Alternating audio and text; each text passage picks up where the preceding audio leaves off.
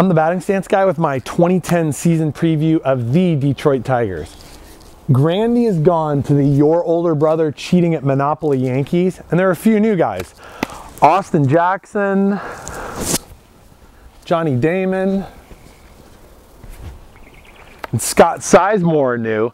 Everybody else the same. Hey, don't say except the big guy wearing the Miguel Cabrera jerseys new, because that is not funny. But Miguel Cabrera had a rough offseason, so let's just cut him some slack. On a serious note, I'm still bummed that Magglio Ordonez gave Andre the Giant and Pedro Martinez their hair back. That Jerry curl mullet hybrid was an absolute force to be reckoned with. Let's just hope for the sake of the Tigers that Mag's mojo wasn't stored in those locks. The guys to watch on the, this young team are Ramon Santiago and Jeff Larish. Ramon's shifty lean is a gem.